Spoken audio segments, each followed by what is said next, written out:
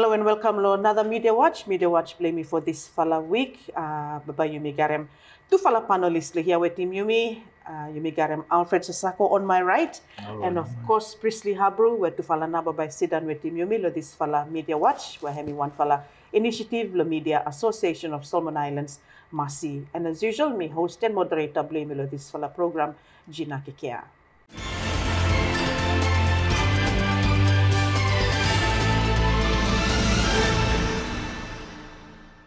Well, gentlemen, welcome to the program, Blamey, for this fellow week. Thank you, Thomas, for uh, accepting come uh, request for coming to program, Blamey, this week. Alfred, once again, you are under the radar. That's the why you bagat say Alfred no more, all the way come in the program. You seem to be a naughty guy, not really.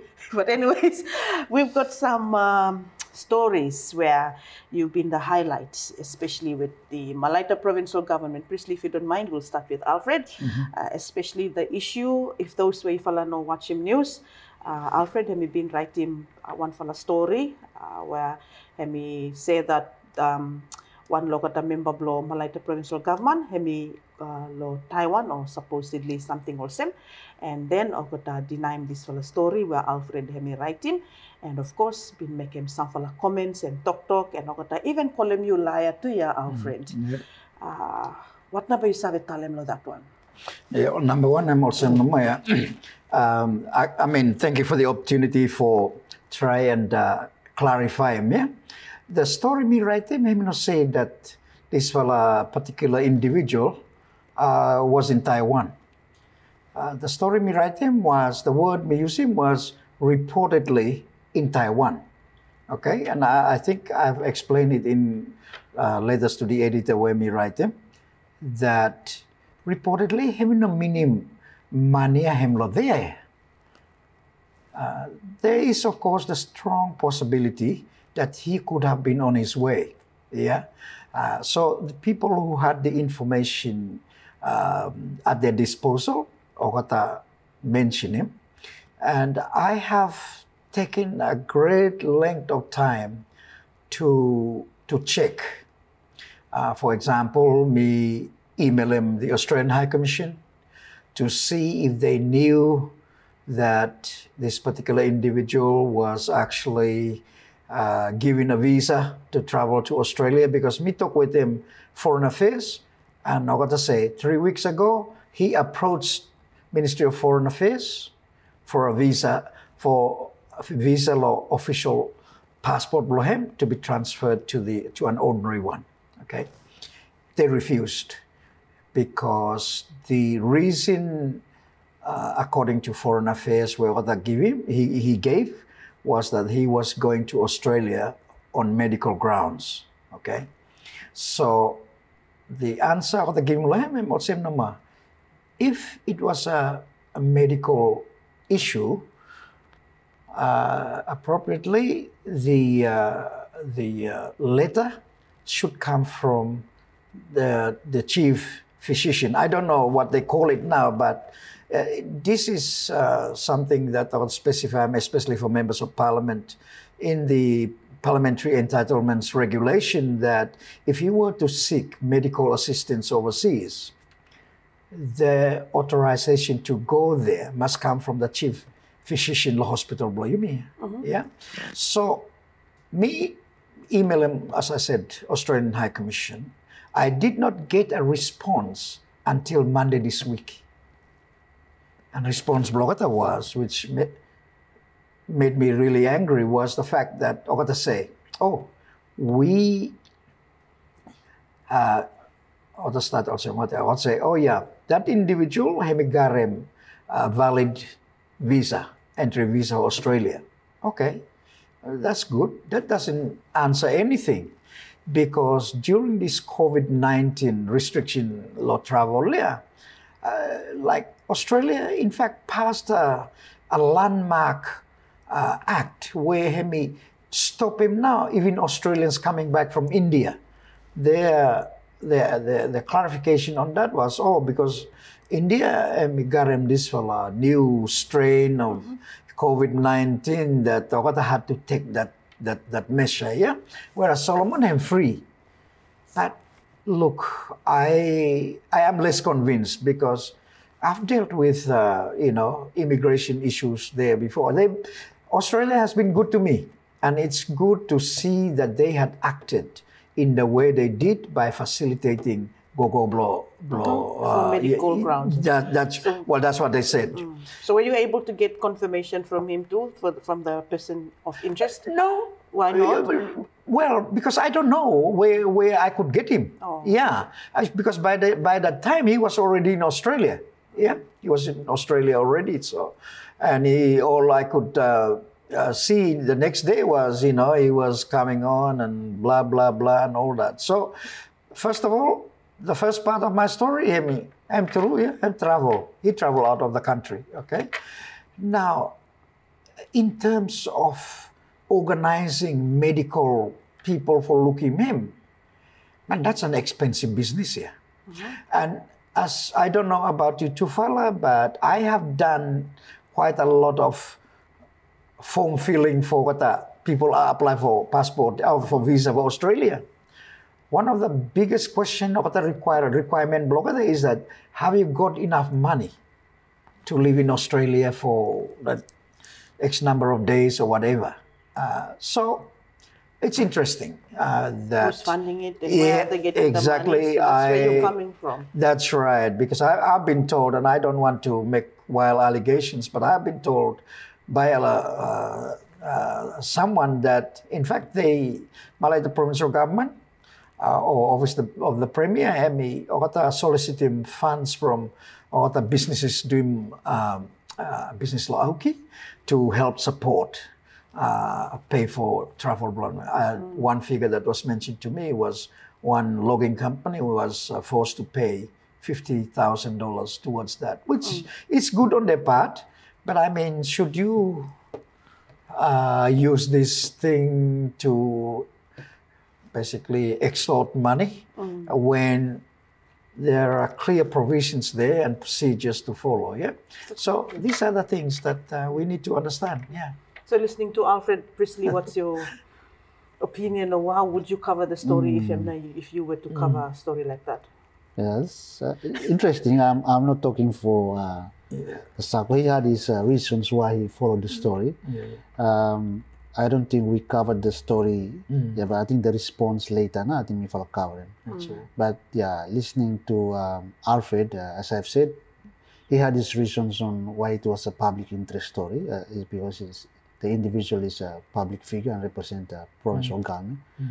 And yeah, so me, me not very much say the story, you know, but I mean, like as I've said, Alfred got his uh, reasons on why it was a public interest. Because at the end of the day, write story because it's a public interest, and also uh, these individuals are people who are holding public office. So yeah, so when it comes to funds, Yeah. it's it's good for you misawa where now got the Selena come from, Yeah. who is sourcing the uh, or facilitating those things and Mm. all them, yeah.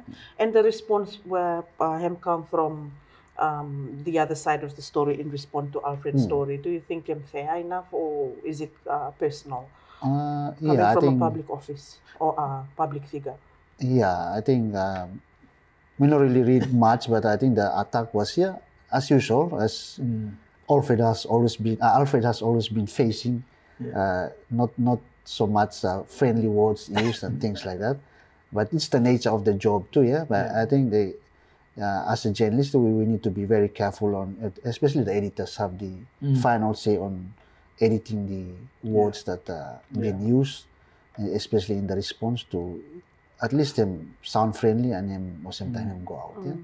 Sometimes in defamation too. Yes. Yeah, I mean the the accusations made against me was highly defamatory. Yeah, uh, I mean they call me calling you a liar. liar. Yeah, they're calling me liar, and he has no proof to to say that. And, that there's yeah. another comment made to you too, like you're pro-China. Yeah, I I I've been trying to explain that that as a journalist, I write, yeah, and whatever is told to me, me write him, yeah. As long as me check him, and that is that is okay. One thing that the public has not been been uh, led into, and I have not done any story on it, is very very serious allegations that the engagement blow this particular person is unlawful. Hem no got him contract where what uh, the legal what what uh, you know they uh, vetted and approved it. His engagement was also outside of the procedure, but he had clocked up allegedly and I emphasize that word, he had clocked up allegedly more than half a million dollars in wages. Now, if if these allegations are true, um, then who na by paying Selenia? Hmm. Or just because hem holem that post that uh, hem alright nama. Uh, I mean, these are the things where you, we, we really need to to get to the bottom of it rather than shooting at the hip, yeah, uh, or below the hip. Yeah, am not fair uh, because one of the reasons why we are here is because of the story where yes. you mean right him, yeah. Mm. Otherwise, we wouldn't be talking, talking yeah, about yeah, about these things, yeah. Mm. But I also, um, you know, um, I, I, would say, you know, that that uh, whoever Hem Garem the, the, the right to respond, mm. yeah, those things. Yeah. Uh, but the question that you ask is, do you have to go that low? Mm. Yeah, because this question of the potential of using medical grounds in Australia and then to travel on uh, to Taiwan, the possibilities there are, are very, very real. Yeah, mm.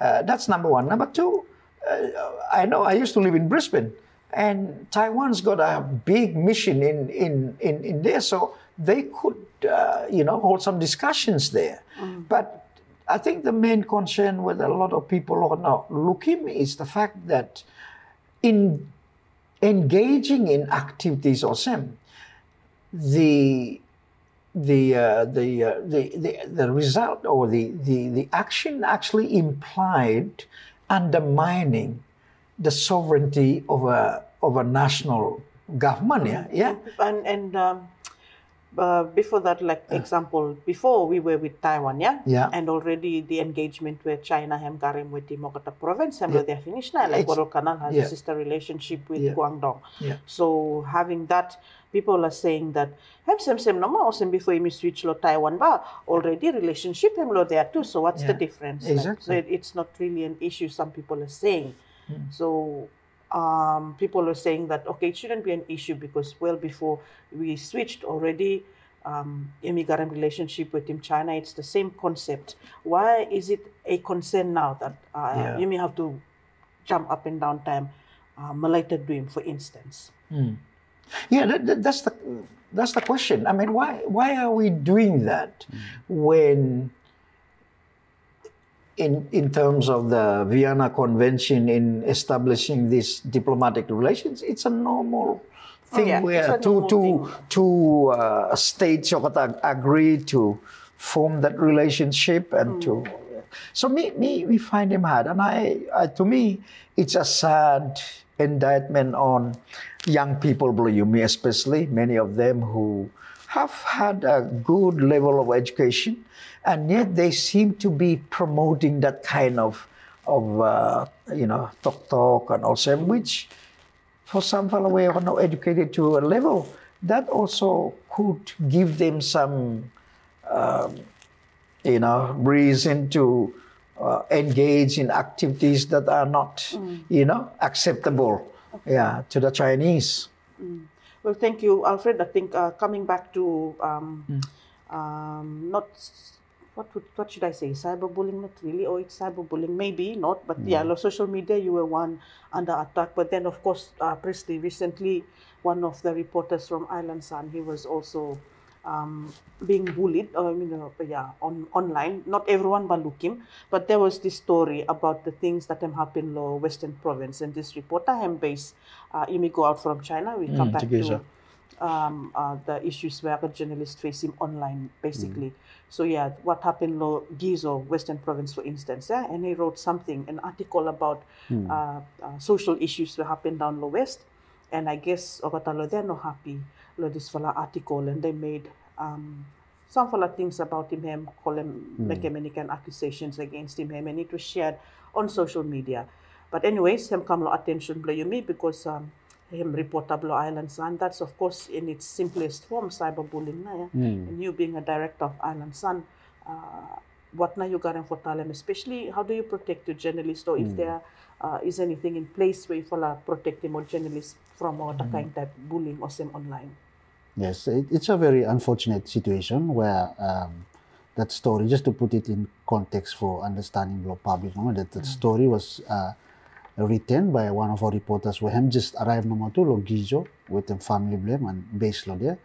So uh, when when the story come out, I think it was about uh, you know um, sto- uh, reportedly saying that uh, you know uh, some young girls around lo Gizo, I think what uh, due to COVID nineteen, they are uh, you know selling themselves out there, and it- it's sort of like it's a huge problem in Gizo or something or something. Okay. But he he didn't really actually um, uh, uh, name the sources or the people who were telling the stories to him, something or same. So on that side, uh, when the story came out, it was you know sort of like putting uh, people and residents of Gizo, you know, it's sort of like got to feel a little bit no not happy about the story, implying that uh, this is very um, um, happening around Tomas lo Gizo. Well, some will accuse him, the reporter, that some people are just normal walkabout naman doing their business. It's not so much that this a problem and big problem no there, something awesome. So that's the context of why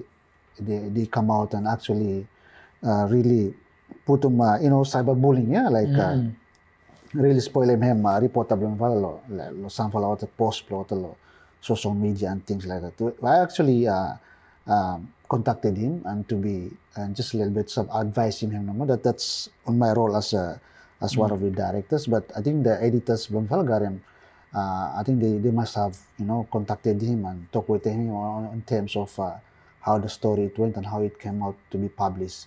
But on just on a, as a colleague, me actually talk with him and I mean we just inboxing him and story about it. Just be careful on hmm. how you report. At least you get the story balanced and ob- through observation and things like that. Actually try to verify it, just to be on safe side, no, yeah? Because when these things happen, people by not happy, anything can happen Oh, yeah. anything can happen and they, did go to that extent of you know naming him and putting his picture on the social media and things like that and uh, him replied that actually those the, the stories it comes from people who are uh, residents from Gizo and they're the ones who give him the story and that's what he said and I think some of the people within our newsroom would say that people who uh, comment and make uh, fun of him and things like that about the story are mainly those who are not based in Gizo. But they're from Gizo, but they are maybe Staplohoniera naman have access to uh, social media and things like that. But not them out. Maybe some people of Gizo too are not happy to look at the story. but he, he says stand by his story and that uh, they were given by credible sources about what was happening there. But me just tell, uh, advising him naman not to yeah, do a sensational stories that might have some repercussions on him as a reporter there and on Island Sun as a, as a media organization.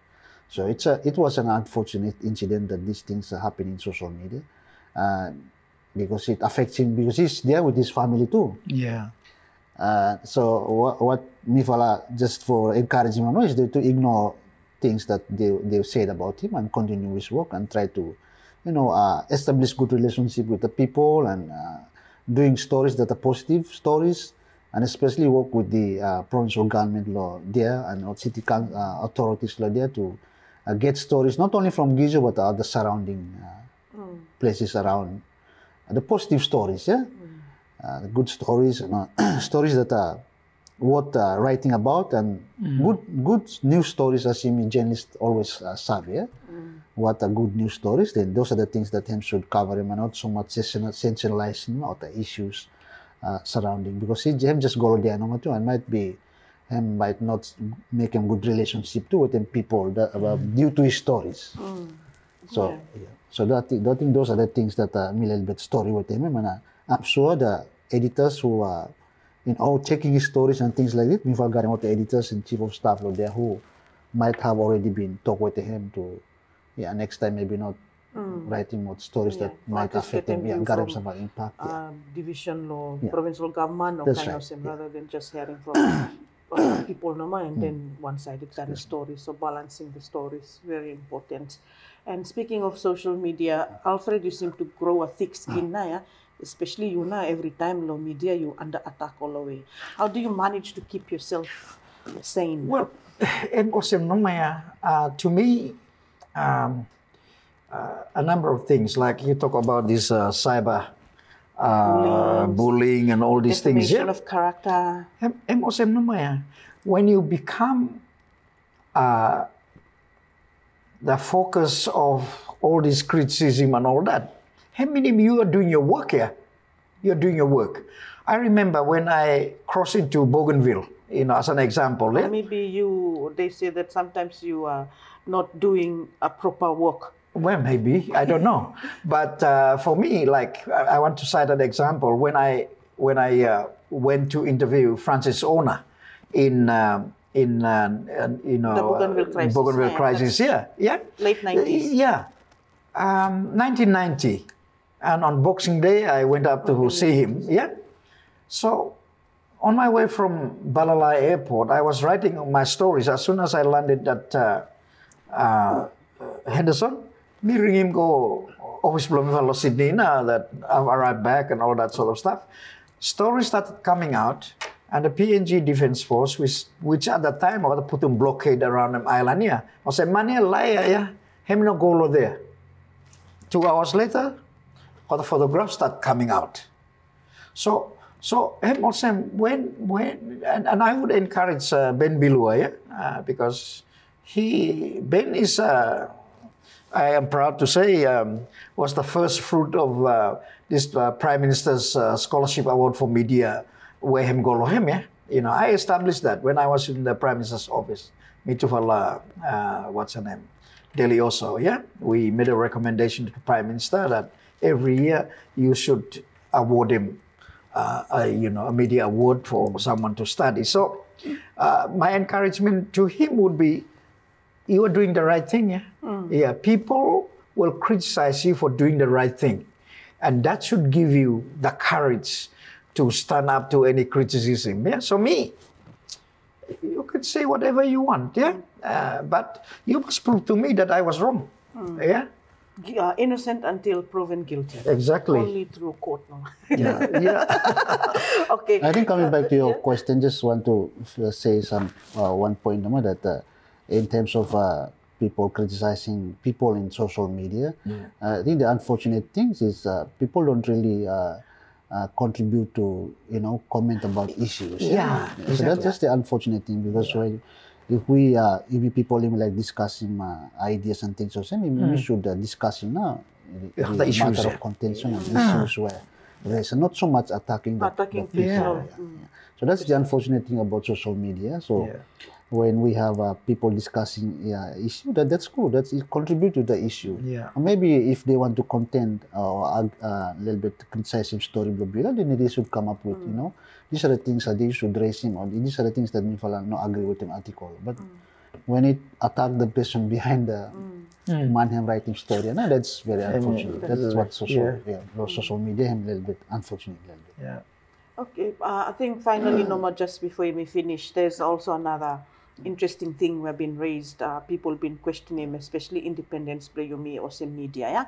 And it comes to um, one fella uh, relationship, what I say that immigrant with him, China. Uh, China. Yes. And I think you fall sorry, na, yeah, this one with him, uh, Nafang, Nanfang Media Group. Have you heard of Nanfang Media Group?